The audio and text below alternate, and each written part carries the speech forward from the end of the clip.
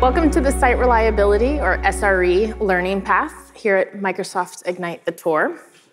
I'm thrilled that you're here with us and kicking off this learning path with us that includes five sessions today. Operations is fundamentally changing. It's modernizing. And your competitors are adopting new ways of delivering software faster and more reliably. DevOps and SRE are two approaches of doing just that, accelerating your software delivery lifecycle. And in many ways, SRE is the natural evolution of DevOps, with a few twists and turns along the way. I'm Emily Freeman.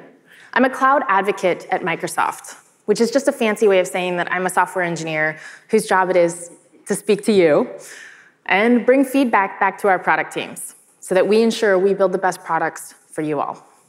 You can find me on Twitter at editingemily. We're going to cover a lot of ground today during the five sessions of this learning path, and it's probable that you'll have some questions along the way. Each of us will be available at the stage after our talks but you're welcome to reach out to us on Twitter, specifically me, and if I can't answer your question directly, I'll connect you with someone who can. We're kicking off today with modernizing your infrastructure by moving to infrastructure as code, or IAC. I like to joke that I'm from the dev side of DevOps, but if you come from an operations background, you may not feel super comfortable with coding and things like source control. And that's okay. I want to assure you that no matter what your background, there's room for everyone to thrive. And we're working hard to make sure that Azure is the place that you all can come together as a team so that you can deliver software better and faster and usually cheaper. If you've worked in a traditional engineering environment like me, you'll be used to ticket based workflows and silos. Those responsibilities where developers create the code and then toss it over to operations to deploy and maintain. The reason I moved into DevOps from backend engineering is I became increasingly frustrated with the friction and seemingly endless back and forth between developers and operations teams. It was obviously their fault. I mean, I was fine. Definitely an ops problem. DevOps seeks to reduce or eliminate the friction that exists between developers and operations engineers in that environment. I think to be successful, we have to work together. DevOps has been around for 10 years now. 10 years. We've been talking about this for a really long time. And yet, the definition of DevOps still varies from company to company and person to person. I'm nearly finished writing my book, DevOps for Dummies, 75% of the way through, final stretch.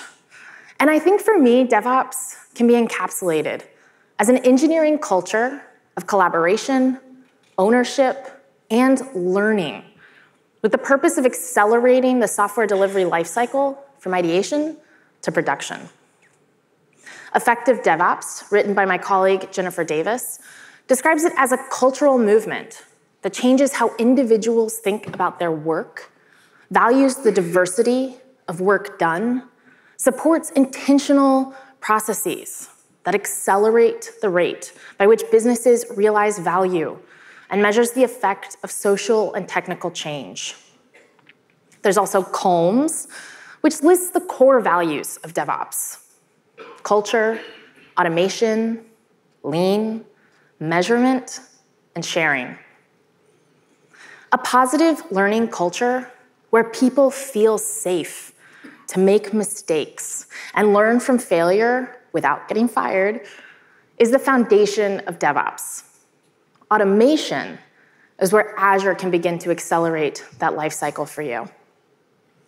Site reliability engineering, or SRE, is a discipline originating from Google's approach to service management. But SRE has evolved beyond its original form and is implemented differently across the industry. We all like to do things a little bit different. You can think of SRE as a specific and prescriptive implementation of DevOps.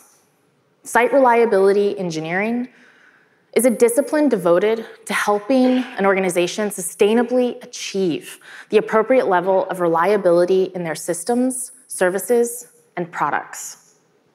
It encompasses almost all areas of operations availability, latency, performance, efficiency, change management, monitoring, emergency response, and capacity planning. In his book, The Phoenix Project, Gene Kim noted, a great team doesn't mean that they had the smartest people. What made those teams great was that everyone trusted one another. And it can be a powerful thing when that magic dynamic exists. When was the last time you felt like that? Think back. Have you ever felt like that? And if you have, and you really truly felt fulfilled in your work, what did that feel like? How did trust in your colleagues play a role in that? If you think failure is a choice, you're wrong. I'll talk more about that later today. I think we've all messed up at some point, right? We've pushed buggy code, we've gotten tangled while rebasing the Git, we've deleted a production database, small things, little problems. Now we're moving all our legacy systems to the cloud, some of us faster than others, and that's okay. In the cloud, sometimes it's rainy.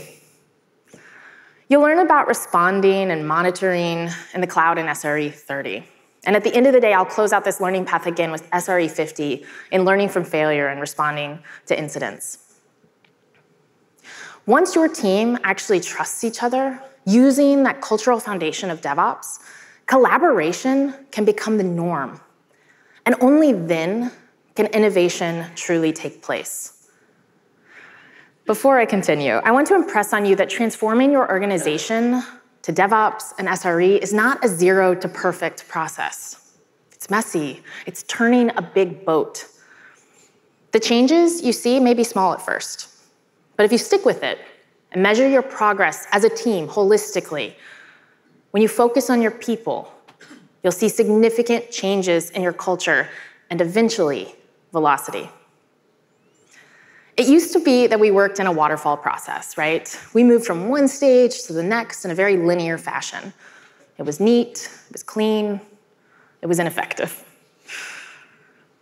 Then we adopted Agile, and from Agile evolved DevOps. Now we think more in a circular fashion, right? And we create feedback loops around the customer, centering our users to ensure that their feedback drives our product roadmaps. We develop small batches of code now, not enormous releases. We automate our tests instead of clicking through every single time before we deploy.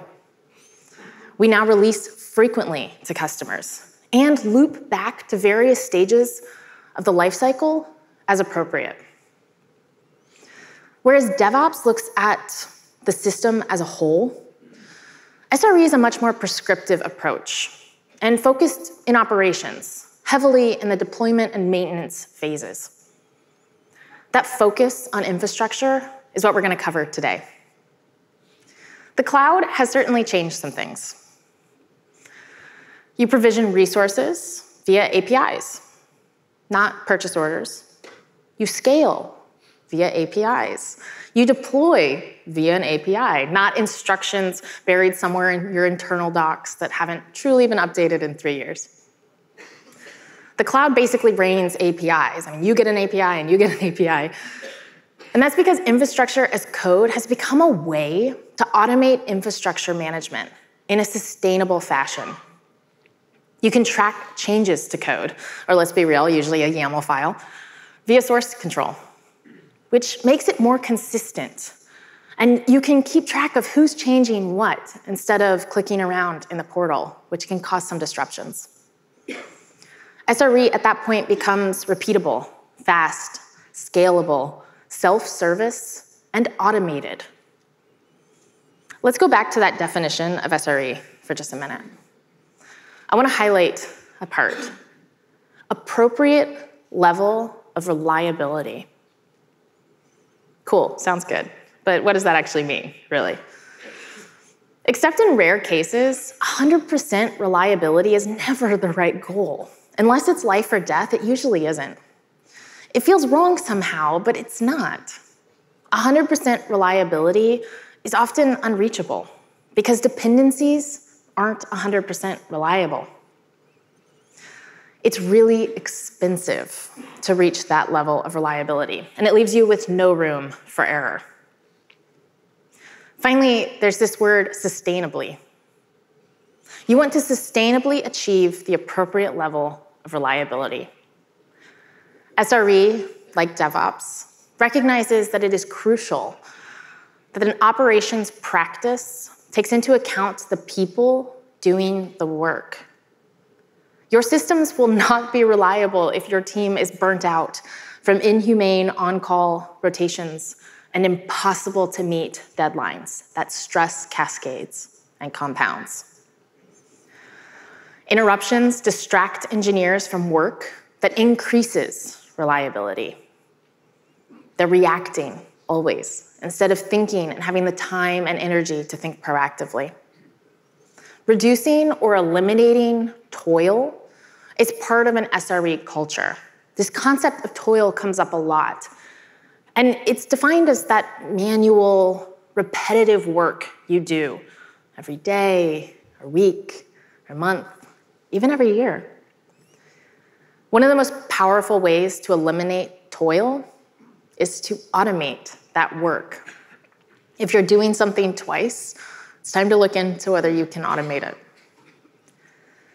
With code, we can automate those manual processes and make them reusable and managed via source control so that everyone can access it, learn, and search for the answer independently. There are no single points of failure on your team. I want to dive into a demo on provisioning infrastructure in Azure. The app we are using across the tour is called Tailwind Traders. You might have heard of it in other sessions. It has a Node backend and a React frontend. It utilizes Cosmos DB, SQL Server, and .NET. App Service, Azure's app hosting service, works seamlessly with .NET, .NET Core, Java, Ruby, Node, PHP, Python, Docker. We try and make it as easy as possible for you to use it. I'm going to manually set up the infrastructure in the Azure portal at first with an Azure Resource Manager, or ARM template. Azure Docs are great at helping you get up and running. I'm relatively new to Microsoft and I use them all the time. I think they're incredibly helpful.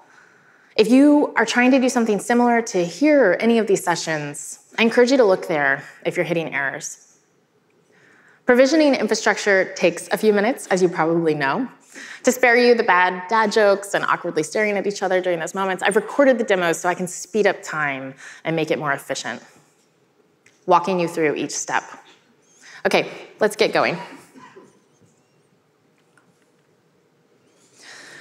So if you look here, I'm in my portal at Azure. My homepage is going to look different than yours simply because of the services I use. You're going to create a resource and head right over to the web app option. Click that. And then we're going to create an app name. I'll focus it on the learning path number, SRE10, and our location, or short for it. AMS. Then a manual deploy. And if you notice, the app name is replicated down at the bottom in the resource group automatically for you. You'll have to make sure that your subscription is correct. And then as far as the other options, I'm going to choose Linux and code.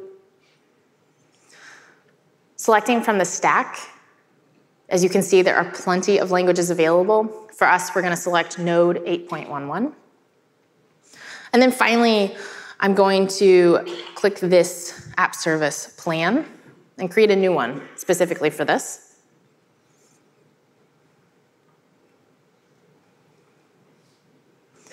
We'll name it. It should be familiar to you by now. To SRE10 AMS manual deploy. And then finally, select West Europe. Your locations and regions will change based on where you are.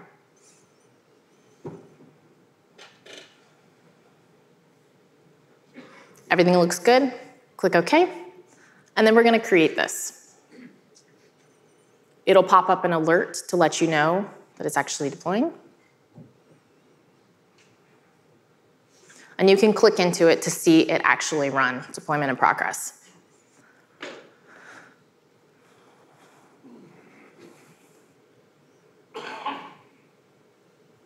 Succeeded. And you can actually click, there's lots of options to kind of see under the hood what's actually happening, logs, um, actual files. So I encourage you to click around and just kind of familiarize yourself with how to get more visibility into the process. So that's pretty easy, correct? How many of you have done something very similar? Okay, a fair amount of you.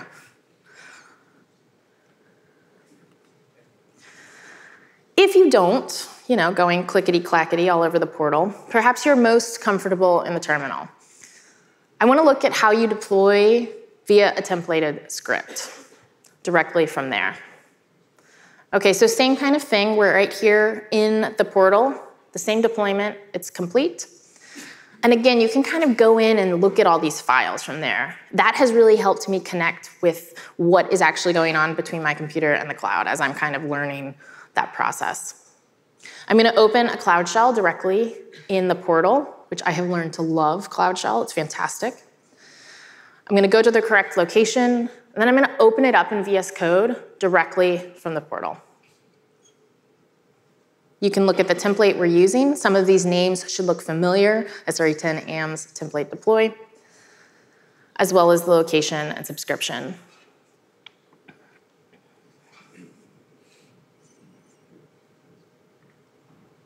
Finally, we'll go over to the deploy script so you can kind of get an idea of what this would look like for you. The docs, again, have lots of examples for this um, as you try and build out your own. Finally, I'm gonna set that subscription right there and then deploy the script, being sure to include the name, the location, subscription. We'll see this pile on through. And again, this can take a few minutes, so I've sped things up a little bit. All right, you can see the file it actually ran through, and it succeeded. We'll go back into the portal to actually confirm that, because I almost never trust messages.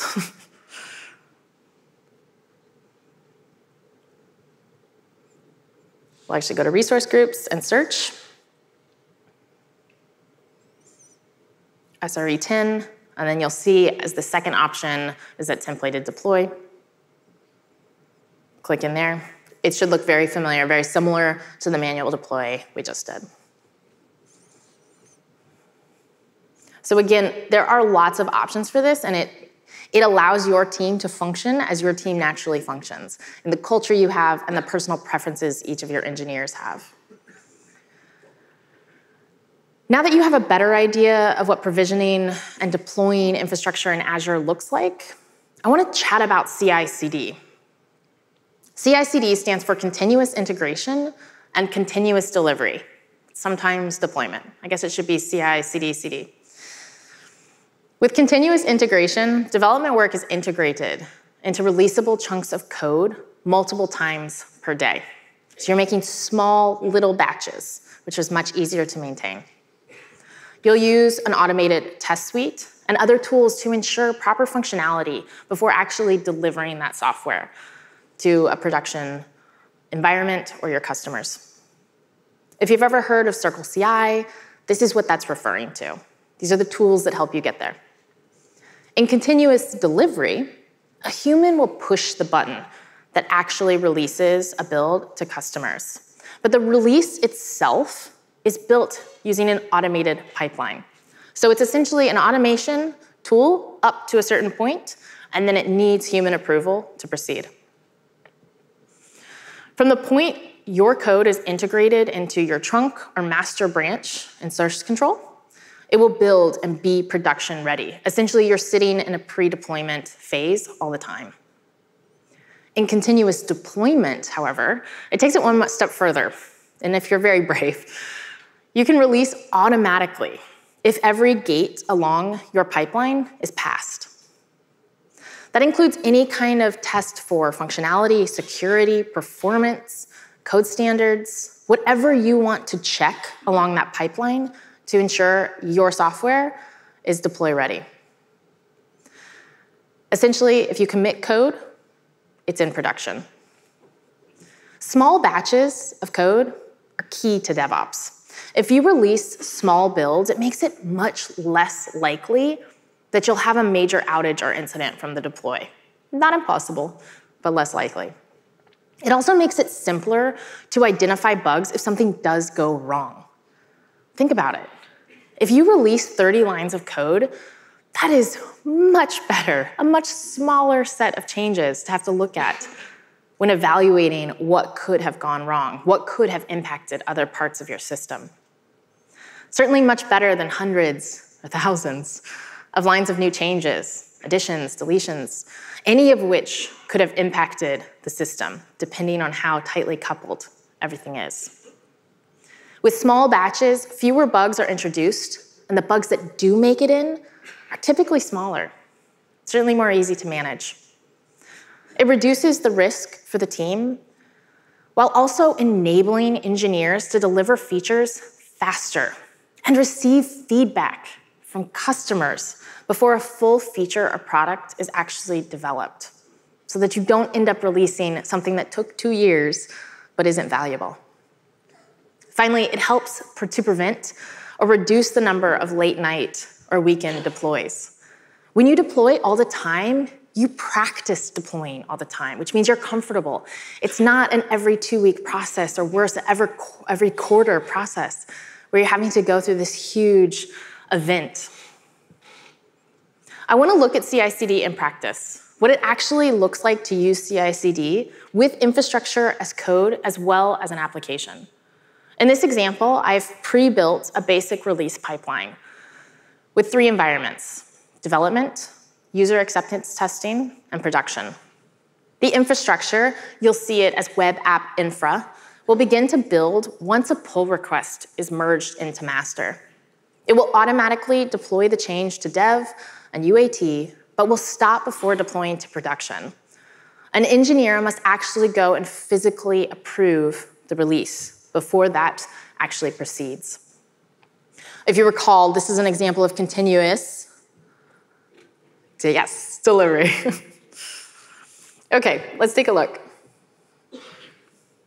So I'm in my terminal, I'm gonna open up um, web app infra in VS Code. I recognize this is going to be hard to see in the back. That's okay. This is not the important bit. The important bit is that I am changing something in the infrastructure code. Basically, all we're doing is moving the SKU and the SKU code from variables to parameters.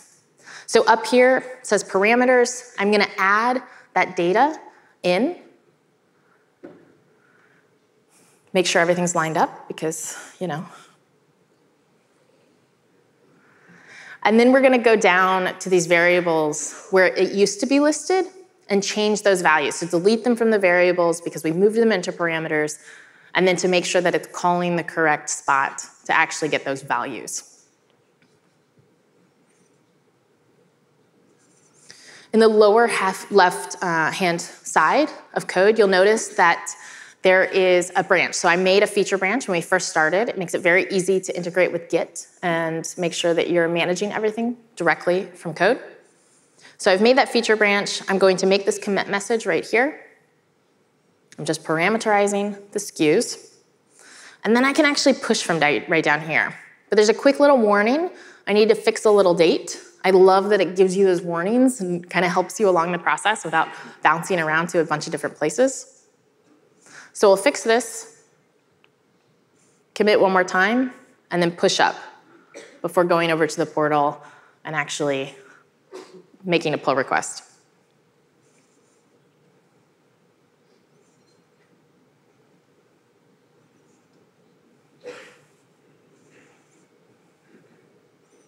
Just committing that we fix that date.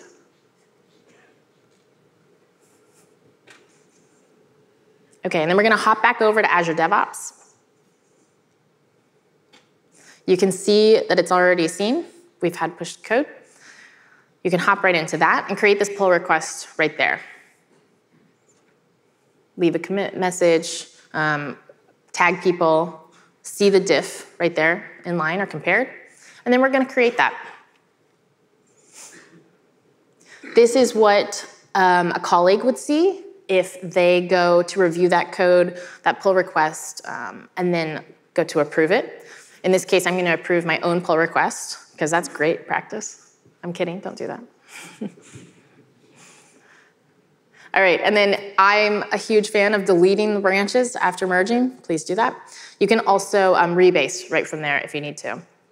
And right here, you can see, you can go back to these commits and cherry pick and revert, um, which will be helpful depending on what kind of situation you're dealing with.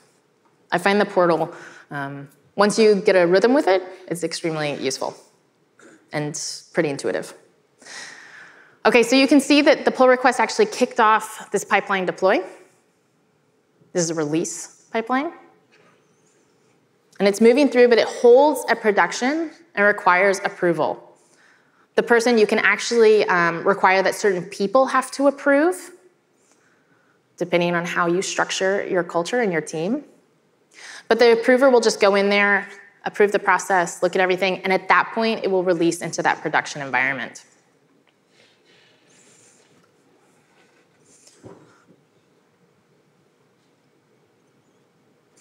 So let me find my mouse.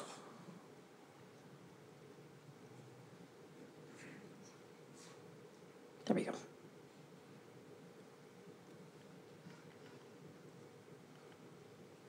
Okay, so that's continuous delivery. Pretty simple, right? Perhaps you're feeling extra confident and you want to build out the robust automated test suite. You've integrated various security checks along your release pipeline and you want to release directly to customers in production when new code is merged into your master or trunk branch. That would be continuous. Be, thank you, deployment. Okay, so we're gonna do the same thing. Now, last time I was edi editing the infrastructure code. This time I'm actually going to be editing the front end code. So same kind of process, I'm gonna open it up in VS Code. And again, these changes are not important. The important bit is that I'm actually just going to change the title of the index.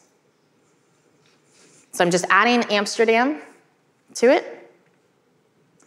And then I am going to commit directly to master because we believe in good source control. All right, so I'm going to be brave, committing to master. We can push directly up just as we did the last time. But the process is going to be a little bit different. And because I've committed directly to master, I don't need to go in and do that pull request. Truly, please do not do that. okay, and you can see it run through um, the actual pipeline. It's going to archive those old environments, what used to be the builds there, repopulate each. If something fails, I have found this incredibly useful because you can actually find the spot that it failed, open up that log, and get more information. As I've been learning this, this has been super helpful. Okay, so you can see all the steps. Then we're gonna go back over to our pipeline, see the release.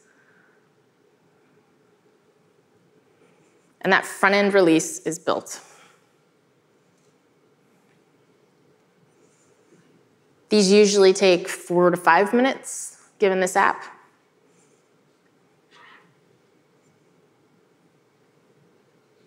But you can see it pop through each stage.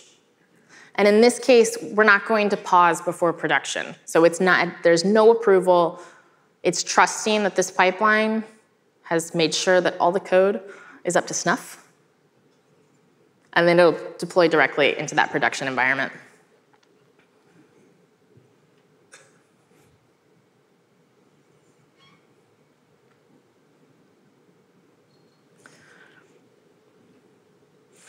Azure is an incredibly powerful tool. The more I dig into it, the more I realize it is incredibly robust. And there is not, it's not possible to be an expert in Azure because there's simply so many services. I think there are advantages to implementing multiple services within the Azure ecosystem because it's simply a more seamless integration and setup. But Azure is not the only tool out there, and we recognize that. We recognize that your stacks are incredibly diverse. We work really hard to ensure that whatever stack you use fits into Azure pipelines. You can call REST APIs from any of the steps to integrate with different systems, as well as double check the code, meet certain standards from linting to security. I believe you are the future of tech, and I want to make sure that I and Azure help to get you there. Please stick around for the next four sessions of the SRE track. There's a bit of repetition in a few of them simply to bring newcomers up to speed, but each session does build on the next. And we'll move through this intro into monitoring and dealing with problems as you respond to fires, as well as learning from failure. If you need the slides or code, you can visit these links and finally, as someone who is passionate about DevOps, I believe in an open space style. So I've left plenty of time. I'm going to be up in front of the stage. If you want to come talk, chat with me, you can ask me specific questions um, or just meet some of your colleagues and figure out what they are doing at their uh, companies. Again, my Twitter is at editingemily. It's been an absolute pleasure. Thank you so much for coming and having us.